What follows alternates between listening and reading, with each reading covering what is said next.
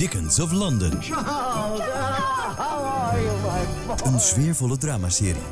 Over het leven van de beroemde schrijver Charles Dickens. Charles Dickens! Whatever a man can learn, he may learn in the streets of London. Really, Master Charles, you must put your mind to it. What was it, Charles? The great shape. It grew, grew, and it grew.